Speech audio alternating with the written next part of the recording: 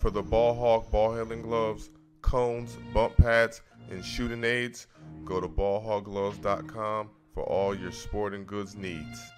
To get the total bundle, you get the ball hog gloves, the bump pad, the decone, and many more.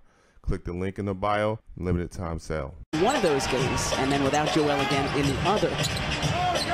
Tyrese Maxey the scoop. Oh, and looks like that's a goaltend, and it will be. Two points for Tyrese Maxey and the Sixers. Our officials this afternoon, Josh Chivin. Okay, let's take a look at our key to watch keys to this game, Olive. Got to get back on defense. Nick Nurse mentioned it and highlighted in his pregame presser when he talked about teams trying to run on him. The other thing is limit your turnovers as Maxey and, and Taryn, we know in every sport, that's all you can control, Alaa, is what you can do. So try to win another one. Nice turnaround from Tobias there. Try to push the win streak to eight.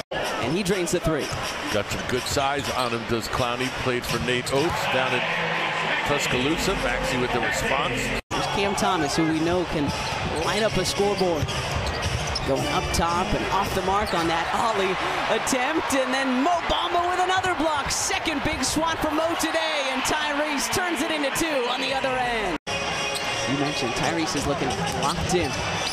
Buddy, 18 a couple of nights ago. Maxey mm, falling Stop down, it. and down it goes for Tyrese Maxey. Wilson drops it off to Claxton. Good hands by Harris. Kyle Lowry pushing. Maxey for three. Make it 15 for Tyrese Maxey today. No idea what you're talking about.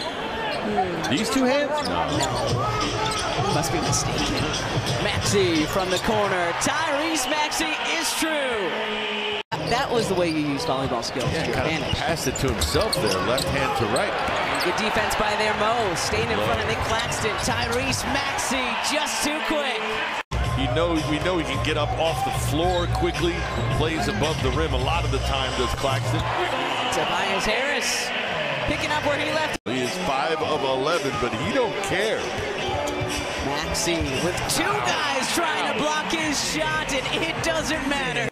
Tyrese block by Paul Reed. Here comes Maxey now. Hield's looking to go back to back, back to back buckets for Buddy Love. Nico at the foul line, ready to make quick reads and react. Here's out for Tyrese, the scoop and score, 26 this afternoon.